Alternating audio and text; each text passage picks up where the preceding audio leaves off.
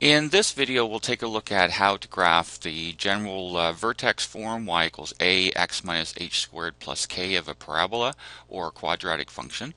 And we're going to take a look at a few examples. The one on this page we're asked to graph y equals 3 x minus 2 squared plus 1. So the first one we're asked to describe the properties of the parabola and we'll graph it and then answer questions B and C. To describe the properties of the parabola, these numbers here allow you to find or illustrate where the vertex is. So the vertex would be at 2, 1. Notice it's x minus the h, x minus the x coordinate, and that's why it kind of appears that this number is always the opposite, but it's not x plus h here. If this was actually x plus h, then we would have to uh, use this, the, the actual number here with that sign. But because of the fact that it's x minus that number, if this says x minus 2, then 2 is the x coordinate of the vertex. It does say plus k in the end, so whatever this number is right here, if it's written in the proper vertex form, would be the y coordinate of the vertex. So we'll plot the vertex at 2, 1. There's the vertex.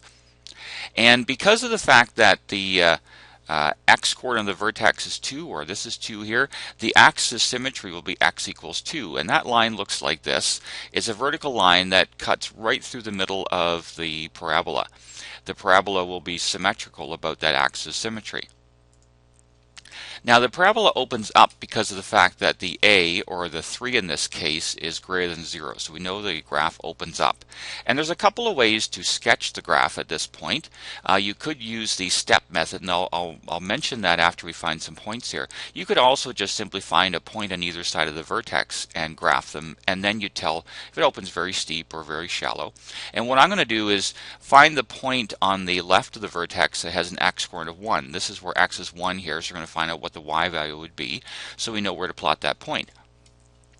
So in the uh, equation, I'm going to substitute 1 in place of x. So there's my 1 substitute in place of x. And so 1 minus 2 is negative 1. If you square that, you get 1. And 1 times 3 is this 3. So there's the 3 times 1, plus this 1 on the end. So this would be 3 plus 1 gives you 4. So that's the y coordinate if x is 1. And so that's the point 1 comma 4. And we can plot that on the graph, so 1 comma 4 would be right there. Now by symmetry, there should be a point right across the axis symmetry right here. So if we were to put 3 in place of x, we should get 4 as well for y, so 3, 4 should be on the, uh, the parabola. So I'll just illustrate that algebraically. If we put a 3 in place of x, Again, 3 minus 2 is, in this case, positive 1, and 1 squared is 1. And so we have 3 plus 1 gives you 4 again. And so that certainly does work. So 3, 4 is a point on the parabola. And so we'll plot that point and then draw our smooth curve, our parabolic shape uh, through, through all those points with the vertex here, of course. Now, the parabola does go continue to go upward forever, but it also keeps on going out to the right and out to the left. And so that means that you could literally put any x value whatsoever in place of x in the function, any, any real number. There's no number that you cannot put in place of x. You can put any whole number, any decimal, any radical, any fraction that you want that you can think of, a real number in place of x. So that's why we say the parabola is defined for all real numbers. x can be a mem is a member of the set of real numbers. This funny capital R stands for the set of real numbers. Now, for any parabola that opens up or down, there's either a minimum point or a maximum point. In this case, we have a minimum point. The y value there is 1 because the vertex is at 2, 1. 1's the y coordinate. Every other y value is bigger than 1 and out this way as well. And so we would say the parabola has y values that are all real numbers, and this vertical bar stands for the words such that. So it's read y is a member of the set of real numbers such that y is greater than or equal to 1. 1 being, of course, the lowest possible y value, every other one larger than 1. Flipping over example 2, it says determine an equation for the parabola shown. So here we have this uh, parabola. If we look up here, this point right here is the point 37, and that's where the vertex is. So the vertex is at 3, 7, so in that vertex form, that means that h would be 3 and k would be 7. Now, uh, another characteristic of the parabola is it opens down, so the a value, the stretch value, would have to be um, is negative, so it opens down. So in the general vertex form, we still have to find what A is, but we can put 3 in place of H and 7 in place of K. And so that's what the vertex form looks like so far. We need just to find A and then we'll know what the equation is. Now one way you can find A is if you know that it's called the step method. Uh, normally uh, for a parabola, if there's been no transformations, if it's just y equals x squared, if you go from the vertex uh, right one block or left one block, you're either going up one or down one, depending on whether it opens up or down.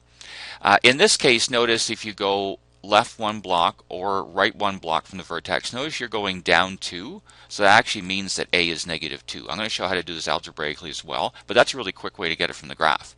So uh, it we're you can be pretty sure that it goes through that point pretty exactly. So A is negative 2, or I guess it's really, really close to negative 2. Now, in order to do this algebraically to find what A is, uh, find a point that it passes through. For example, 2, 5, or for example, uh, 4, 5 are points that the parabola passes through. And so what we're going to do, and there's my 2, 5 point, what we're going to do is substitute 2 in place of x and 5 in place of y and solve for A. So there's the 5 substituted in place of y and the 2 in place of x. And so we'll, we're going to algebraically solve for A here. Now 2 minus 3 is negative 1. Uh, squared is 1, so this is just 1a. So 5 equals a plus 7. If we solve for a, we would uh, subtract 7 from both sides, or take the 7 over and subtract it from the 5. Uh, 5 minus 7, of course, is negative 2, just like I, I said it was from the graph. So a is negative 2, so to write the equation, we would substitute negative 2 in place of a, and this is what our equation is. So that's an equation for this parabola in vertex form. In example 3, we have a, a surface-to-air missile that's fired from a height of 3 meters and achieves a maximum height at 5 uh, horizontal distance of uh, 12,000. It's 5,000 meters off the ground. So that's its height when it's gone 12,000 meters horizontally. So it's fired from over here. It's hard to illustrate 3 meters um, on the graph here because we have such large numbers. Every block vertically, every block horizontally is a thousand. So uh, the height of 3 is going to look like it's at 0. But basically, it starts really, really close to zero. We have to remember that it has actually a height of 3. Uh, so this is 10,000, 11, 12,000. It's at a height of 5,000. Then, of course, it starts to fall because that's the highest point. So the, the variable on this axis I'm going to call capital H, not to confuse it with H in the vertex form. So capital H means the height. The little d is the horizontal distance here. So instead of uh, having x in this axis, I'm going to use d. So instead of y equals a x minus h squared plus k, I'll have capital H equals a d minus h squared plus k. So I'm using different variables because of the context of this problem. Now we're told that the vertex is here at 12,000 comma 5,000. So that tells us what the h and k numbers are. So we know that much about the equation. H is 12,000. That's the uh, horizontal uh, uh, coordinate of the vertex, and the height there is 5,000, so k would be 5,000. So we know this much about the equation. This is very much like the uh, example 2. We just now have to find what a is. And we're told in the problem here that it's fired from a height of 3 meters, and at that point there'd be a horizontal distance of 0 because it hasn't moved horizontally yet. So if d is 0, h, capital H is 3. So we can substitute those into the formula to find what A is. So if D is 0, it hasn't been fired yet. The height is just 3 meters off the ground. It's on the firing platform, I guess. So 0 minus 12,000, of course, is just negative 12,000. And if we square that, we get uh, 144,000. Uh, I'm solving for A here, so I'm going to rearrange. I don't want the 5,000 left on the uh, right side here, so I'm going to bring it to the left. So when we bring that over, 3 minus 5,000 is negative 49.97. And then we would divide out this, um, actually it's 104, I think I said 144,000. It's actually 144 million, sorry, uh, negative 12,000 squared. So we would divide out the uh, 144 million, and that's the exact value for A. Um, I would probably write it as a decimal to several decimal places. It's approximately negative 0.000035. So we would substitute that in place of A in the equation. And so that's an equation that would model this missile's path. And it's the equation we're going to use to answer question B.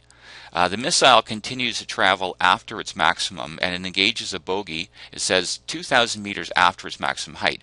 So the maximum height occurred at 12,000, so this would be at 14,000 meters horizontally. And so we're asked at what height does it hit this enemy target. So we're really asked just to find what the y value is, what the height is there. So we're solving for h, and the d would be 14,000. So in the equation, we'll substitute 14,000 in place of d, because that's the horizontal distance it's gone since it was fired. Uh, 14,000 minus, uh, 12,000, of course, is 2,000. And so we would square 2,000 and then multiply by this negative 0.000035 and then add it to the 5,000. And uh, you can tell it really hasn't fallen much. It's only a little bit below the 5,000. Its height is still 4,860 meters. So that's the uh, height that it would engage this uh, enemy target at, 4,860 meters off the ground. And this last page is just a summary of uh, basically vertex form. Uh, the caret, okay, so the uh, this is the uh, equation that we're working with, and, and, these are all the characteristics that we're going to talk about. So this is just a general uh, vertex form. The axis symmetry is always x equals this h number. The vertex is at hk. This is the stretch or compression factor.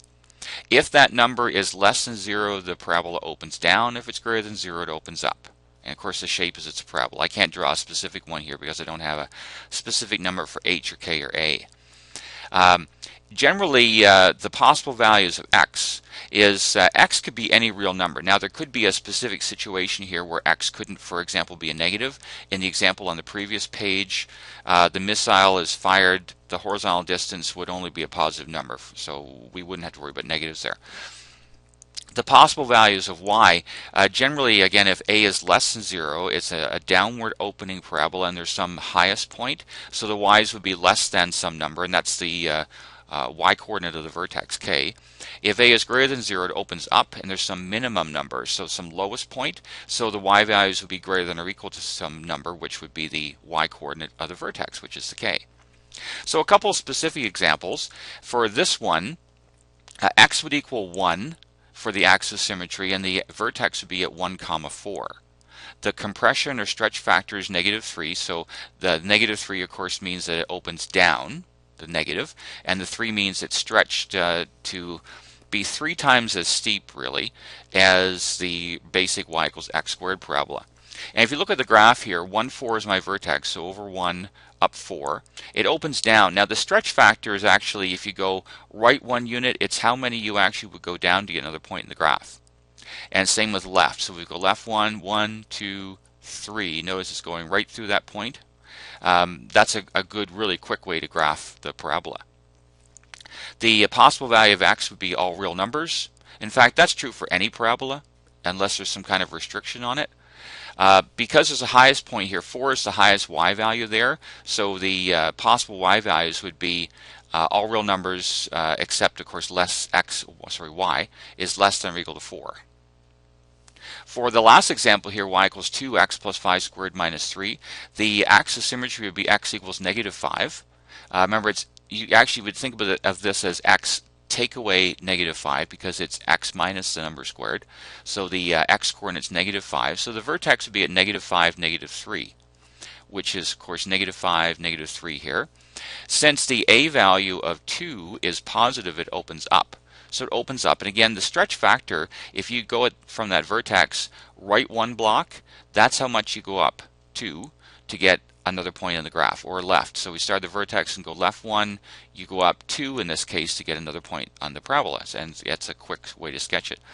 The uh, x values, possible x values would be uh, all real numbers. Some people call that the domain, D-O-M-A-I-N, the domain of the function. The uh, There's a lowest point here. The y value is negative 3 there, and then all other y values are bigger than that. So the possible y values, which some people will call the range, R-A-N-G-E, would be all real numbers such that y is greater than, greater than or equal to negative 3. And that's the end of the lesson.